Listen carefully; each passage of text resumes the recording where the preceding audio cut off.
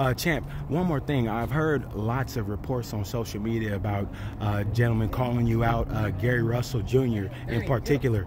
Uh, he's had a lot to say about wanting to get in the ring and tangle with you. You got anything to say about that? Yeah, of course, you know I'm ready. You know, I always wanted to fight with him. I asked my team that I wanted that fight. I don't know why the fight hasn't got made. I said I'm, I'm up for it. But, you know, in 2020, we won the big fight. We won Gary Russell. We won on Gervonta Davis. You know, we're going to see how Gervonta Davis comes out of this fight, and then we'll see how it comes. And either either of them, we won them.